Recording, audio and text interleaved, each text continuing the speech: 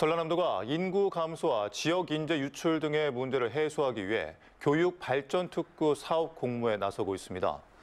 전남 교육 발전 특구는 목포와 무안, 신안, 그리고 영암과 강진이 공동 협력해 전남형 교육 발전 모델을 만들 예정이며 전라남도는 최근 교육부에 관련 계획을 제출했습니다.